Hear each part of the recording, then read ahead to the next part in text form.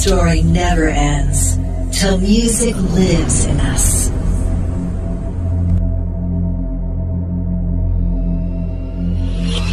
Things that have passed are not important anymore. The future is what really counts.